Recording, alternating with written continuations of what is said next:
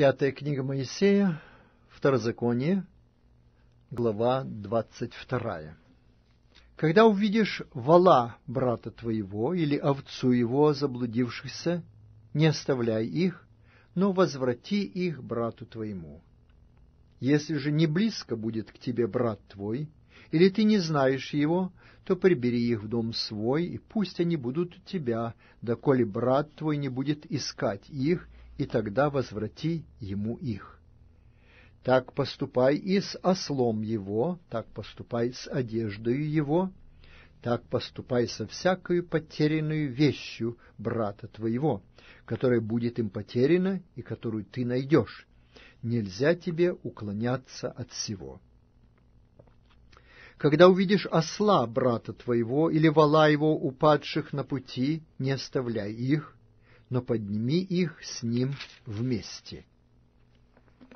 На женщине не должно быть мужской одежды, и мужчина не должен одеваться в женское платье, ибо мерзок пред Господом Богом твоим всякий, делающий сие.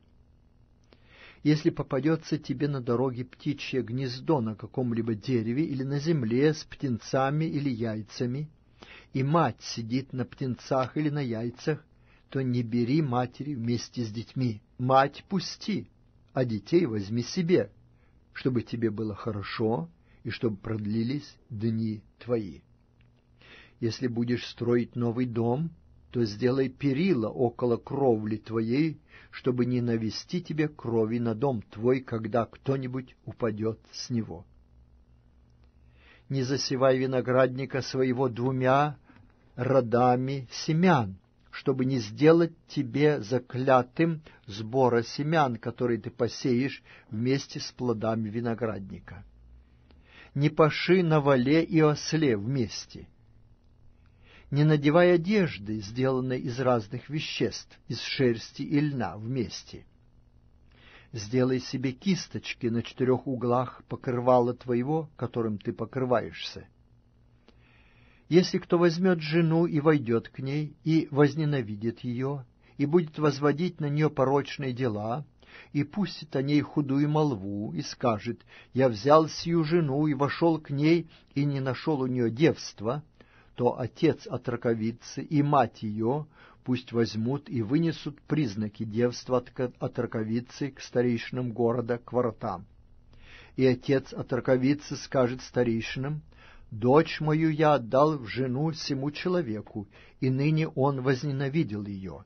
И вот он возводит на нее порочные дела, говоря, «Я не нашел у дочери твоей девства, но вот признаки девства дочери моей» и расстелют одежду пред старейшинами города. Тогда старейшины того города пусть возьмут мужа и накажут его, и наложат на него сто сиклей серебра пени, и отдадут отцу от торковицы за то, что он пустил худую молву о девице израильской.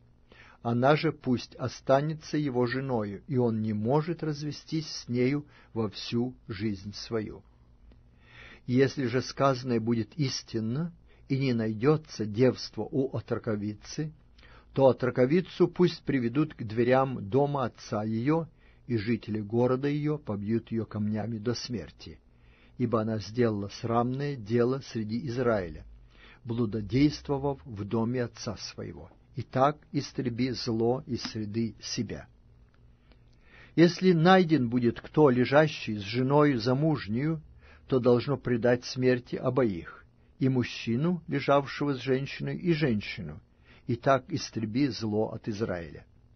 Если будет молодая девица обручена мужу, и кто-нибудь встретится с нею в городе и ляжет с нею, то обоих их приведите к воротам того города и побейте их камнями до смерти.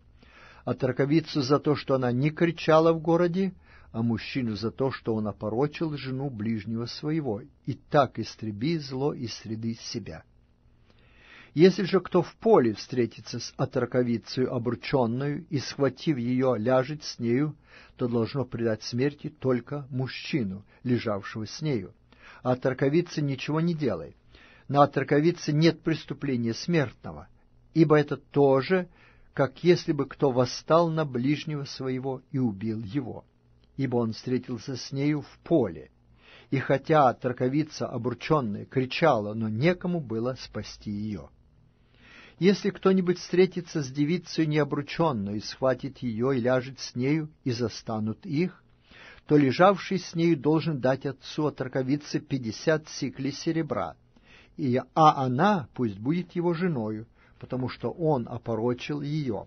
Во всю жизнь свою он не может развестись с нею. Никто не должен брать жены отца своего и открывать край одежды отца своего.